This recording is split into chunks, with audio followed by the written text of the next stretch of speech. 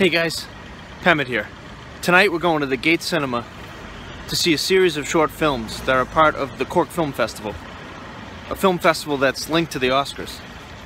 Let's see how it goes.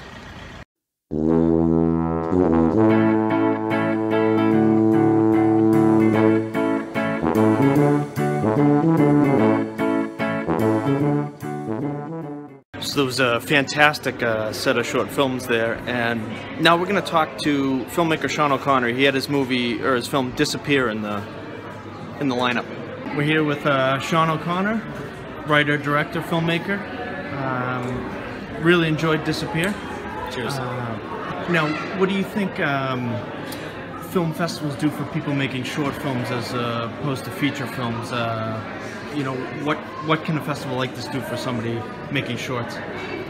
Um, well, aside from, as I mentioned, seeing your stuff on the big screen, which is like, I mean, if you can if you can do that a couple of times a year, it's the it's the best motivation. But like another source of motivation is like getting to meet loads of different filmmakers um, at uh, not just at the networking events, but the screenings themselves, and also, of course, the fact then that you get to see loads of different short films.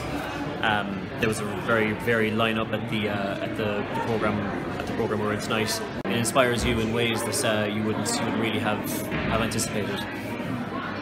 And uh, any advice for anybody that's looking to get into filmmaking or making short films? Uh, yeah, I'd say. I mean, primarily, the, I mean, the main thing is just to be to be making stuff, to be writing stuff and directing stuff and putting it out there. I think there's people often get stuck in the kind of uh, in, uh, in it's kind of a sense of kind of quality control in terms of like script and like actually getting stuff out. But I think there's such value in in being prolific, and I mean, I think I need to be more prolific as as a filmmaker. Um, but best experience you can get is to actually be making stuff because that's because the sooner you learn from the mistakes that you're bound to make, the sooner you start, you, you the, the, faster you start to improve and uh, start to make stuff that hopefully you're somewhat happy with. That's great. That's very good advice, and uh, thank you so much for for saying yes to this. Oh, it's my pleasure. Thank you.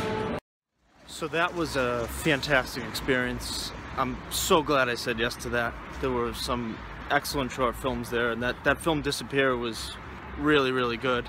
Uh, well shot, well written. And there was another one I really liked called The, the Wake. So uh, very well choreographed as well. So guys, again, I'm so glad I said yes to that. So say yes to something new.